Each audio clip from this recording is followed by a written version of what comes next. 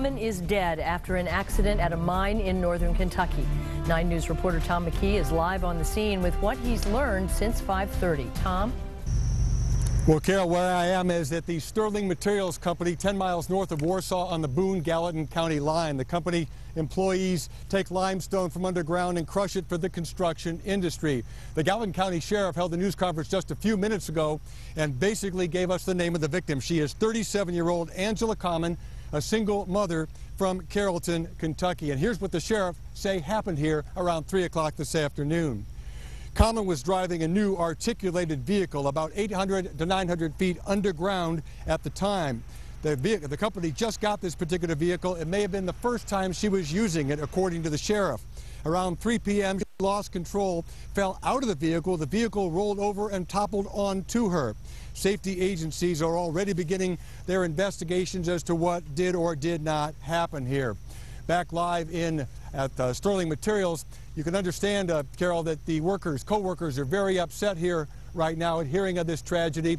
Company spokesperson John Walters, we contacted him in Lexington, asked for a comment from the company other than to confirm the fatality. He said the company would have a statement uh, tomorrow on Wednesday, would have nothing to say further tonight.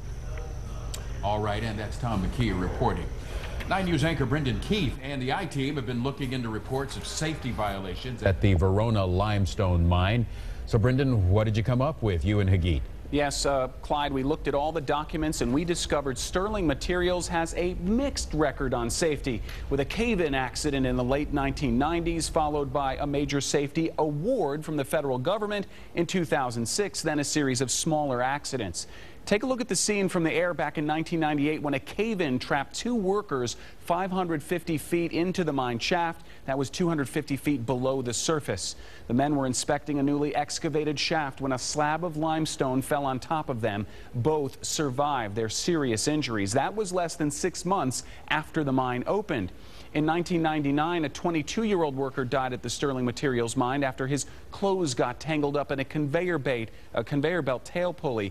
The company was cited because that pulley was unguarded, but the citation was lifted when a guard was installed. The I-team then investigated back in 2004 when Verona residents complained the blasting had destroyed their property values and polluted their air.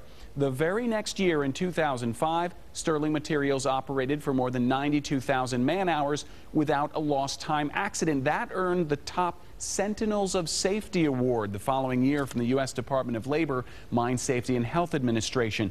That federal agency reports three injury accidents since the award. In 2009, a worker failed to wear a safety harness and he slipped on frosty ground. In 2010, a grinding wheel exploded and the pieces cut a worker in his thigh. And in 2011, a rock fell and cut a worker's hand. Clyde? All right, Brendan, thanks. We broke this story this afternoon on WCPO.com. Be sure to stay with 9 News for complete coverage of the mine accident on air, online, and on your mobile device.